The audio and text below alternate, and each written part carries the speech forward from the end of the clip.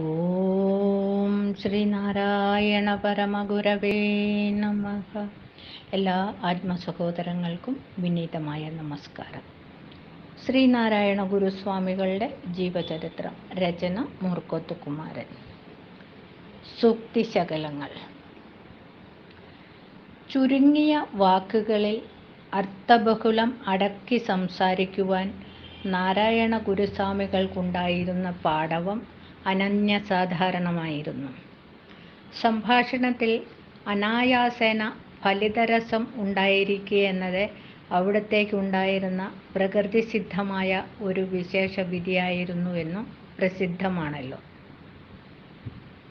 അവിടുത്തെ വാക്കുകളിൽ അടങ്ങിയ ശരിയായ അർത്ഥം മനസ്സിലാക്കുവാനും ഫലിതം ഗ്രഹിച്ച് രസിക്കുവാനും സാധിക്കാതെ വെറുതെ മിഴിച്ചു നിന്നു കേൾക്കുന്നവരുടെ കാതുകളിൽ തട്ടി വായുവിൽ ലയിച്ചു നശിച്ചുപോയ സുക്തിശകലങ്ങൾ എത്രയോ അധികം ഉണ്ടായിരുന്നു എന്നുള്ളതിന് സംശയമില്ല. അപ്പപ്പോൾ ചിലരുടെ മനസ്സിൽ തിങ്ങി നിന്നവയിൽ ചിലതിനെ ശേഖരിച്ചു സ്വാമി ധർമ്മതീർത്ഥർ ശ്രീനാരായണ ഗുരുദേവന്റെ തിരുവചനങ്ങൾ എന്ന പേരിൽ ചെറിയ ഒരു പുസ്തകം പ്രസിദ്ധപ്പെടുത്തിയിട്ടുണ്ട്.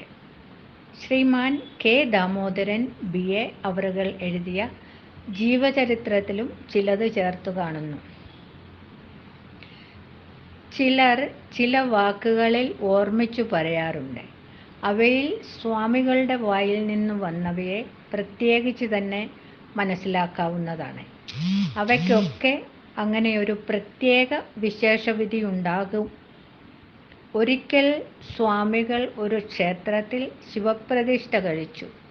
മടങ്ങിപ്പോകുമ്പോൾ ഒരു നമ്പൂതിരി സ്വാമികളോടെ ഈഴവർക്ക് ശിവപ്രതിഷ്ഠ ചെയ്യാൻ വിധിയുണ്ടോ?